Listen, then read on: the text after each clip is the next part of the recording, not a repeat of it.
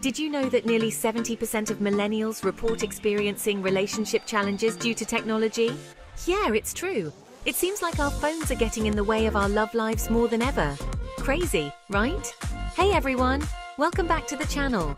Today we're diving into relationship advice specifically for millennials. Let's be real, modern love can feel like a minefield sometimes.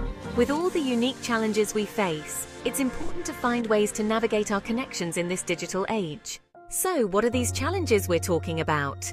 First off, communication can be super tricky these days. Texting and social media can lead to misunderstandings, and let's not even get started on ghosting. Then there's the social media influence. It can create unrealistic expectations and even jealousy, which can put a strain on any relationship.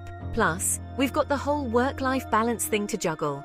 Many millennials are focused on hustling to build their careers, which can leave little time and energy for nurturing our romantic lives. It's no wonder we're struggling. Alright, let's get into the good stuff. 5 tips for improving your relationships as a millennial. Tip 1. Prioritize communication. Make it a point to check in with your partner regularly. Whether it's a quick text during the day or a dedicated chat at night, keeping the lines open can prevent a lot of misunderstandings. Tip 2. Limit social media. Consider setting boundaries around social media use when you're together. This could mean putting your phones away during dinner or not scrolling through feeds while watching a movie. Trust me, it makes a difference. Tip 3. Set boundaries with work. If work is taking over your life, it's time to set some boundaries. Maybe designate certain hours for work and certain hours for your personal life. Your relationship deserves that focus. Tip 4. Be present. When you're spending time with your partner, really be there. Put away distractions and engage fully. It's amazing how much closer you can feel when you're truly focused on each other.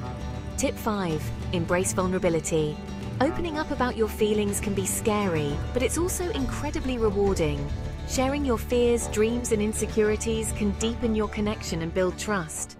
If there's one tip I want you to take away today, it's definitely about embracing vulnerability. Seriously, this is a game changer. When you let your guard down and share your true self, you invite your partner to do the same. This creates a safe space for both of you to grow together. Think about it. How can you really connect if you're not being honest about who you are? Reflect on your own experiences. What's stopping you from opening up?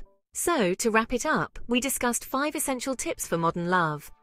Prioritize communication, limit social media, set boundaries with work, be present, and embrace vulnerability.